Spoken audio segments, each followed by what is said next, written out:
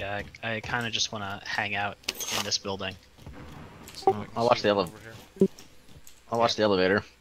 Uh, well, I put a claymore in the elevator, so I'm mostly just. Oh, yeah, definitely coming. Found a guy. Are there any other ways up?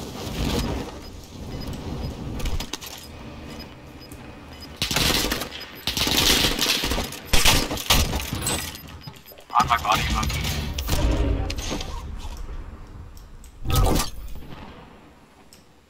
Because the claymore only won't kill him.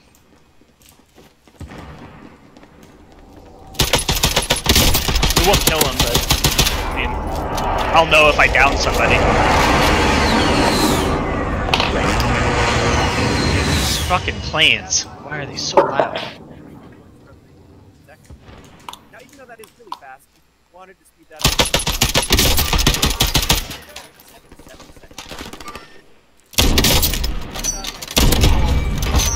Wipe. Nice. For base guy. And I jumped out the building and killed myself.